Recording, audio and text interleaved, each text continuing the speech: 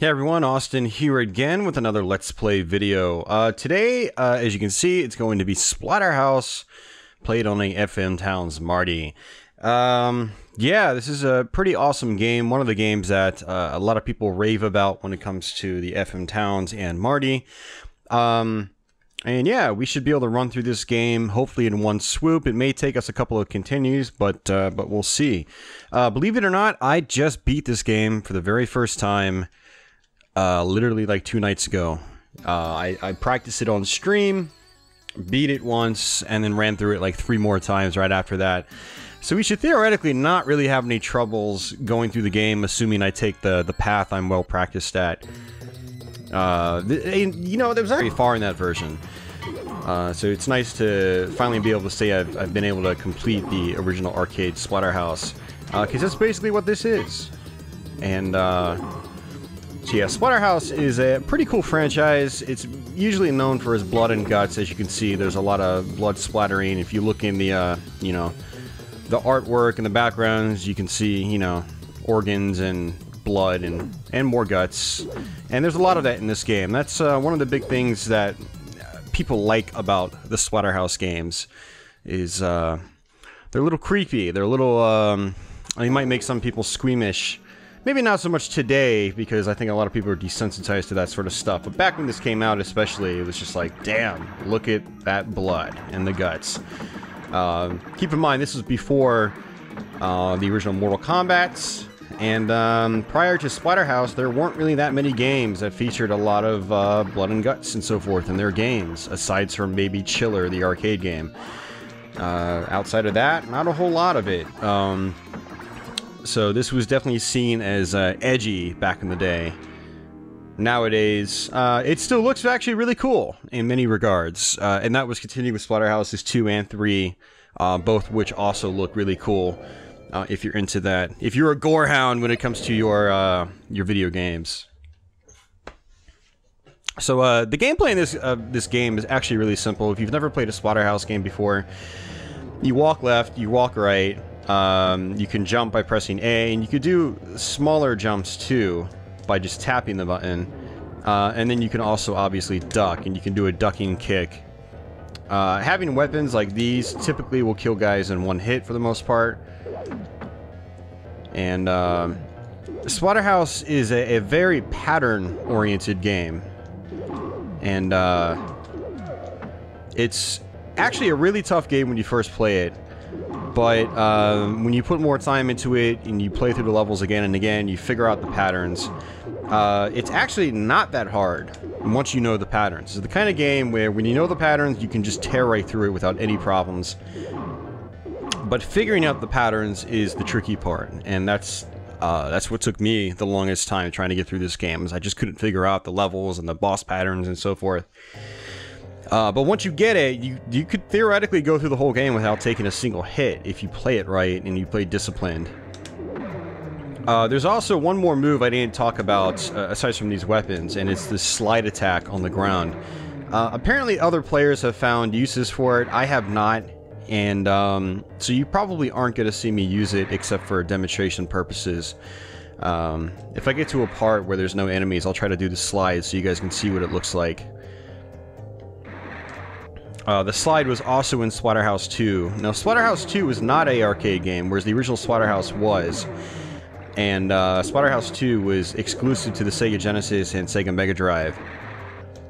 And uh, but it featured pretty much the same kind of gameplay as this. Uh, I forgot what types of games you, you, you call these. They're not really beat 'em ups. They're it's it's kind of like uh, Splatterhouse is like an evolution of games like uh, arcade games like Kung Fu Master or Kung Fu on the NES, which is what many of you guys might recognize, or um, the early Fist, Fist, of the North Star games, uh, aka Black Belt in North America on Sega Master System, uh, Vigilante. It's kind of in that same subgenre of, you know, side scrollers, uh, arcade side scrollers. It's not really a beat 'em up because really there's not a whole lot of beating up. You're, I mean, you're not really, there's no combos. It's just quite basic gameplay, actually. I'm literally just mashing the button, and this is exactly how the arcade version was. So these knives here, you can literally just punch them. And this guy right here, I have the best of luck when I try to just stay back and do this. Just like that. So again, this game, it's all about knowing exactly how to handle each each screen, basically. And on that screen, I just find it easiest to just sit literally on the right and uh, just punch things as they come towards me.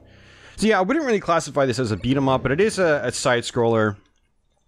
Uh, and like I said, it's sort of like an evolution of those early side scroller um, games, like again, Vig Vigilante, Kung Fu Master, stuff like that. So now you've got a shotgun here, and I, what I want to do is actually save the shotgun and try to pick off all these enemies from a distance. Now you got to watch out for this wall here. This uh, that will actually hurt you and it can kill you. So what's kind of funny is these dogs will actually try to like slurp up the guts of those purplish enemies I killed. So that'll allow you to get your first hit on those dogs. And these little puddle things, you don't want to walk into them. And if I do, it's going to be really problematic because I really need this shotgun. Going to be doing what's called the shotgun trick on this boss that's coming up. And I have a really hard time trying to beat this boss without using the trick. So basically what you can do is, uh, you can only carry one item at a time, but it, you'll slowly push an item forward as you pick up another item. And so what you can do is, there's actually a second shotgun that's going to appear here. Let me try to kill these guys first. And there it is. This guy I need to shoot. You can literally just keep tapping down and the shotguns will keep moving forward with you. And this guy is just such a pain in the ass. I have no idea how to beat him uh, without using the shotgun trick. I actually magically beat him once uh, on stream without the shotgun trick, and I think it's just because I had I did so well in the previous levels. If you do well in the previous level, you'll actually get some extra health, so your health can actually go higher than the default four. So now I have five hearts. So every hit takes away a heart. So I think I've had up to six hearts. So it's like, you know, I think I had like six hearts when I got to him, and that's kind of how I was able to beat him without the shotgun trick. So don't fall down those holes. What's what's kind of cool about Splatterhouse is that it's got um, you know alternate pathways basically. And uh, one of the tricks to beating this game is finding sort of like the ideal path for you. You know, some paths are going to be easier for some people than others and I have a very specific path I like to take uh, to sort of like guarantee success as I play through this game. So right here you need to keep jumping over uh, these swirling blades, just back and forth like that. Very basic stuff. Look, even the bats have blood. When you when you punch them to the ground, they like sort of fall apart. Look at that.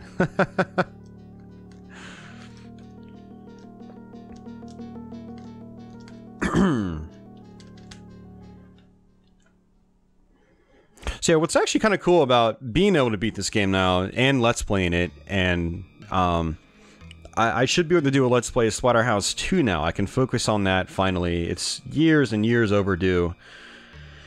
There's gonna be some guys that smash through uh, the mirrors here. So what I find, he just did the slide attack. So this is the slide right here. Again, I don't really use it.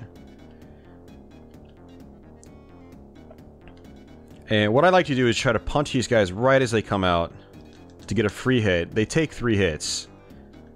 Bam, just like that. And then what I'll try to do is just jump kick them from there. Uh, but yeah, Splatterhouse 2. I actually did a Let's Play of Splatterhouse 3 several years ago for the Sega Genesis. Uh, if you guys want to check that out, feel free to uh, just check out uh, my Sega Genesis uh, playlist and you'll see that there, or my Let's Plays playlist. Or I might even link it in this uh, this description box. So feel free to check this description box first uh, for a Splatterhouse 3 Let's Play. Uh, so that basically just leaves uh, part 2.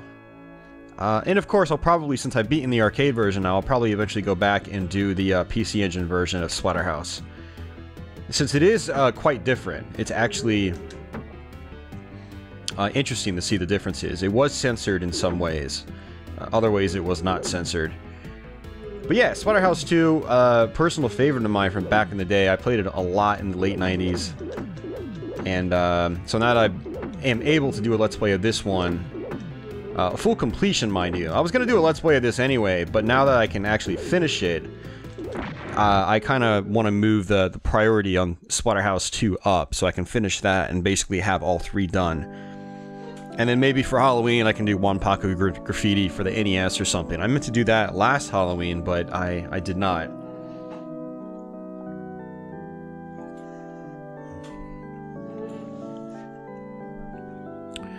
So this is uh, this is about halfway through the game, maybe maybe a little bit farther. Splatterhouse is not a very long game. You got to keep in mind this was an arcade game, and arcade games were typically 20 to 30 minutes long uh, in one sitting if you were able to just plow right through them. Some of them were even shorter than that, like 10 or 15 minutes, depending on the game. Uh, the thing about these games is that they took you a long time to master them. So while the games are only 20 to 30 minutes long on a good run, um, it took you hours and hours and hours and hours to get to the point to where you could actually beat it. Um, even just for the first time. I mean, that's not even talking without continuing and things like that. So, and as far as I can tell, it took me years to be able to uh, actually beat this game for the first time. To really dedicate the time to, to learn it, and uh, and it finally happened. So here we are, doing a actual Let's Play of it. So this part's kind of interesting. Um, it took me a while to find the rhythm here, but so these like little platforms, they actually push you forward. You're like, you slide off of them, basically. So this hand right here, I want to punch, and then I want to just keep moving, but push in the opposite direction. And that hand right there, if you literally just keep holding forward, you can just skip it 100% of the time. And that part gave me absolute hell when I was trying to learn this level. I kept trying to punch the hand, but I would slide off into the pit the pit here, you don't die instantly, but you do take damage. So, just hold in the opposite direction. Holding in the opposite direction basically slows you down, and I like to take the top path here. Actually, actually what I meant to do is take the bottom path. I'm an idiot. It doesn't really matter. I can get back to the bottom path from this screen. These little uh, specters, you can actually uh, hit them. They drop skulls, so we're just going to go ahead and fall right down. Because I find uh, the bottom set of screens to be easier.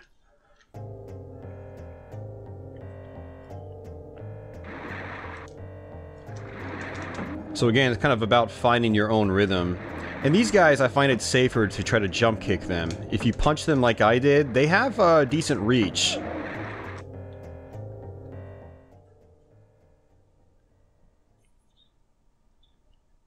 So what's going to happen is you're going to try to punch them, but they're, they're probably going to outreach you and hit you instead. So this part's kind of interesting too. You've got this uh, caped guy. He basically just bounces back and forth every time you hit him.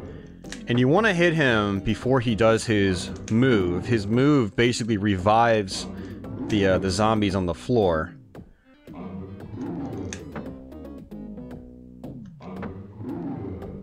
And there's going to be another zombie coming out of here soon.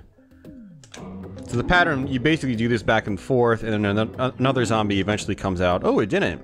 Huh, interesting. Okay, so I have another choice here. I can either go down or up. I prefer up. I find the bottom path uh, from this part to be really tough uh, to get through consistently. But this room, I might be able to get through without taking a hit or two. This is still a tough room. I mean, this is actually getting close to the end of the game. Uh, we're, we're literally just two levels out from the very end of the game. Again, it's not a very long game. Especially if you get through it, um, you know, say without continuing or something like that.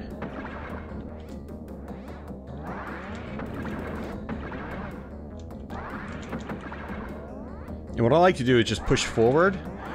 There, we're already latched in. We can't take any more damage because it knew you were at the exit and it was basically forcing me into the exit. I had I lost control. So even if an enemy touched me at that point, um, they couldn't have hurt me, which is great. So a good little trick on that part.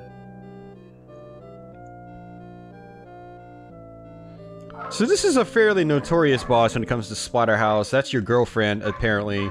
She turns into this uh, hideous beast. And it could be a tough boss when you don't know the patterns. So there's actually three cycles to this boss. The first cycle and the second cycle... Oops, I'm a dumbass. Why did I do that? You want to stay closer to the middle of the screen and try to hit the boss on the way down. As you see. Your hitbox is actually quite large uh, on your character, so... And some of the enemies. So you can get away with literally just standing on the ground and punching as they come down. Kind of like that. You really want to be away from that, that enemy's attack. It is just, it's long, it's got a big hitbox too. It'll, it'll damage you even if it doesn't look like it's damaging you. Now in this third cycle, you want to be up close. And this is where knowing the pattern really comes into play. Let's just watch. One. Two. Oh, he attacked twice in a row. See, that was my fault. I should have waited for the boss to actually lunge forward. He does like this, these baby lunges, basically. So now we gotta do the whole fight over again. Start from cycle one.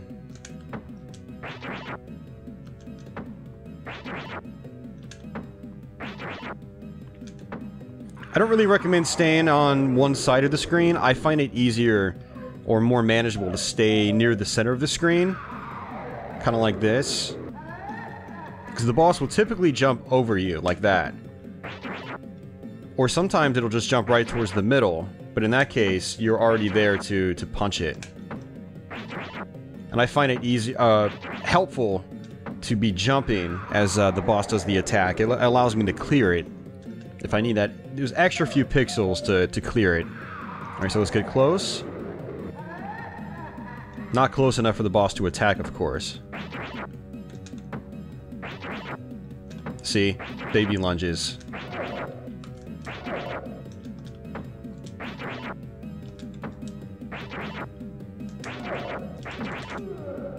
I failed.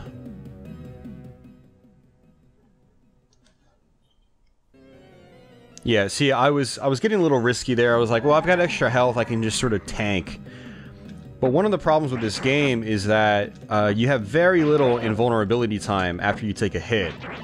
So you might have four uh, four hearts, but you know you could be dead in literally like five seconds. Um, you'll just take one hit, bam, two hits, bam, three hits. That's you literally have like a frame or two of uh, invincibility time in this game. Maybe, maybe a couple more, but it's...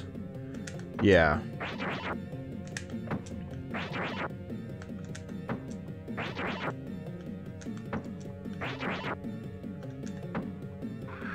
Alright, last cycle, let's make it happen this time.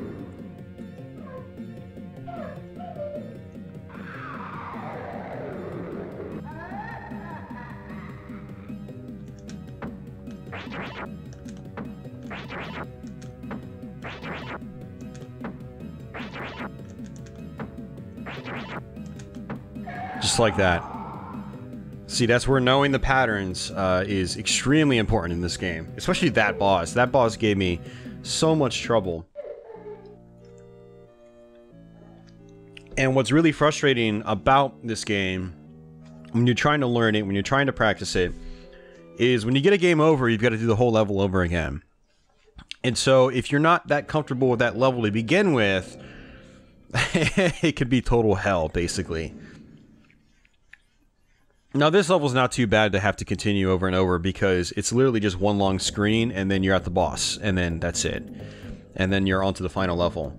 This is a pretty tricky level, though. You got these bubbles or that sort of appear. You definitely want to try to attack them as quick as possible. Otherwise, they form these little guys that hop around. When they latch onto you, just like that, it can get overwhelming very, very quickly. So you want to try to kill these bubbles um, as, as soon as they come out. But you also don't want to rush too much. You want to kind of like just watch where they're going.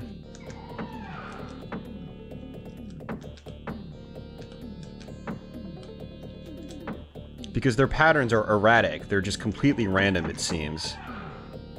There is no rhythm or rhyme to the patterns of the bubbles on this part, as far as I can tell. I mean, I've had to continue on this level quite a few times, and so of all the times I've had to play this level, including the times where I've just beaten it on my first try, the bubbles have always been random. Whereas most other parts of this game, uh, there are no random elements. You know, it's just 100% the same every time you play it.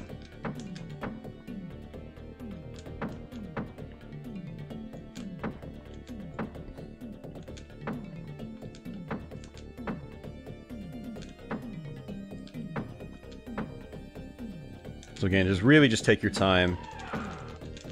And if those little guys appear, what you can do is uh, literally just sit and just punch them as uh, they, they jump. Now, mashing on this boss doesn't really seem to do any good, but what I found is on the final boss, mashing actually works. Oh, I didn't realize there was one there. So now we have to do the whole level over again, because we, well, we didn't game over, but uh, on this level, I think you go back to the beginning anyway, basically. Because again, like I said, it's just one long screen and then the boss.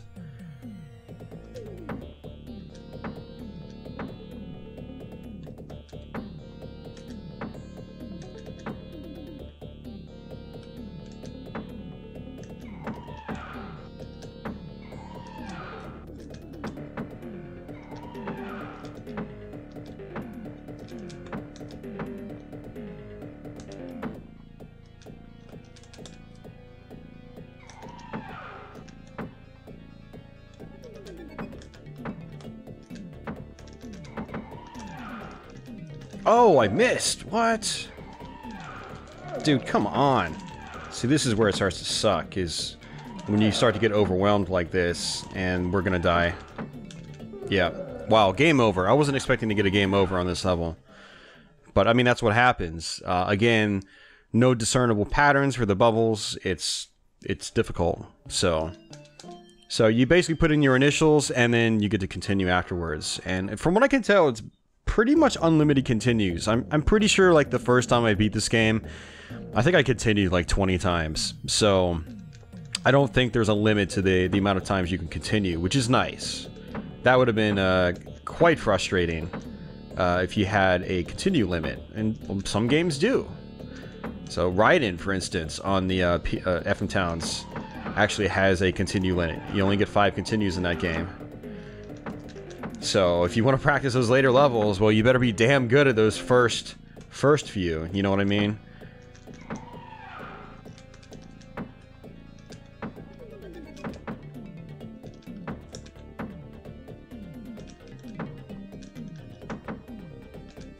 So basically this level's easy if you're able to take out these bubbles right away, but it's really, really hard if you don't, and uh, a bunch of those guys just start appearing, bouncing at you like crazy. Because the problem is they latch onto you. And when they're latched onto you, they do damage. And when they do damage, it... You know, there's a little bit of recoil, basically. You can't... You come out of, like, whatever attack you're doing. And, like, this guy was came from behind.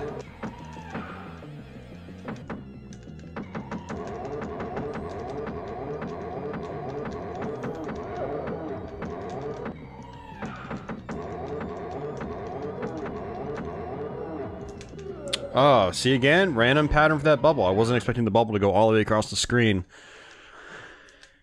So, it's it's tough. I mean, after I beat this game for the first time, I ran through it again. I think I literally beat this level on my first try. After beating the game for the first time. I mean, that's how really inconsistent things can be on this level.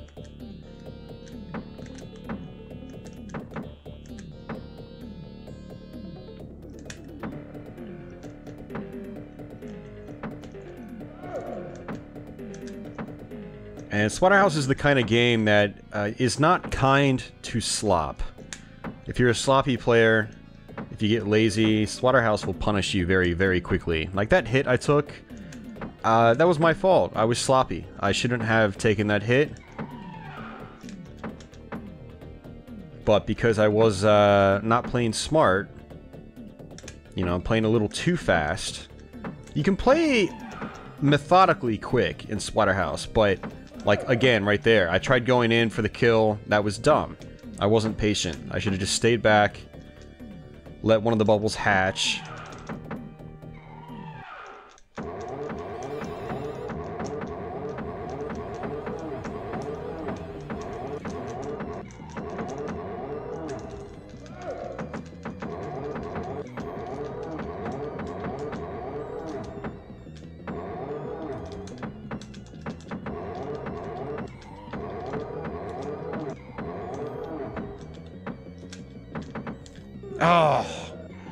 got an extra life at least. This boss takes a lot of hits too. I mean, it's not just a gimme. So...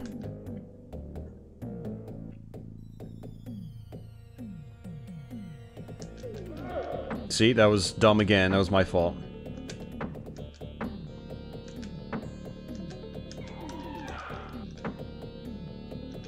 And again.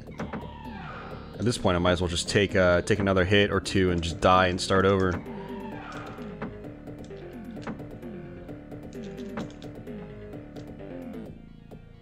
Yes, we've almost spent uh, 10 minutes on this level alone, so it's kind of like... If you get hung up on a spot like this, the game could take you 30, 40, 50 minutes to beat uh, on a single run. But if you don't get hung up on anything, it, you can literally beat the game in like 20 to 25 minutes. Maybe even less, to be honest with you. Because I'm I'm I'm not exactly a speedrunner, you know. So like I don't know any major shortcuts, things like that.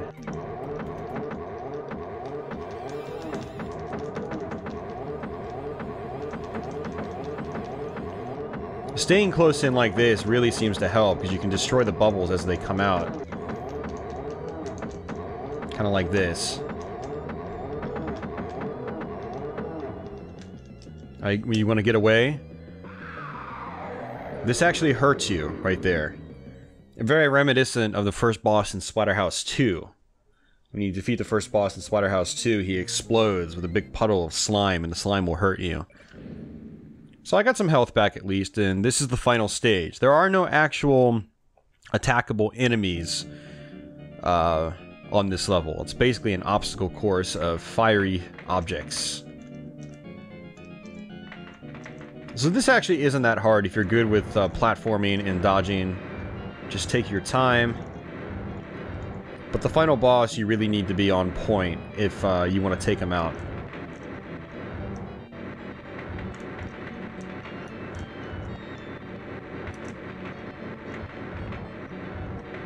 And you probably don't want to jump until you see some uh, flaming logs.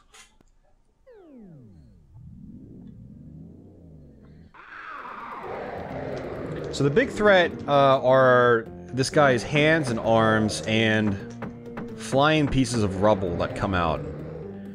And uh, the pieces that fall from the sky, they just seem to be kind of randomized. But again, on this boss, you can actually mash the button and uh, he goes down to his next form faster. So for the hands, you literally just move back and forth. And I think there's four, maybe five cycles to this boss. So that's cycle number three. And then the next two cycles are going to be a little bit trickier because his hands are going to come out at the same time. So this part, you just want to take it nice and easy and jump. By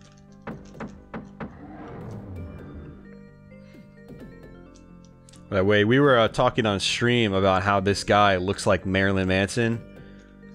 It's kind of funny, actually, when you think of it. The eyeballs and everything. and that's it. We just beat the game. You know you've beaten the boss when you get 100,000 points. So my score just skyrocketed. It's the the single most largest scoring um, fight in the game. Nothing else in the game gives you that anywhere close to that many points.